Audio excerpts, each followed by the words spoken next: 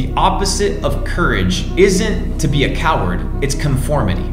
It's when you conform to the status quo, when you conform to what other people are doing, and when you understand that life truly becomes beautiful when you don't conform, when you get to live the life that you want.